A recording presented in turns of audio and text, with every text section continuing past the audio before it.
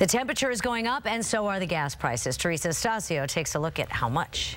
We're talking about gas prices right now at this gas station in Emeryville.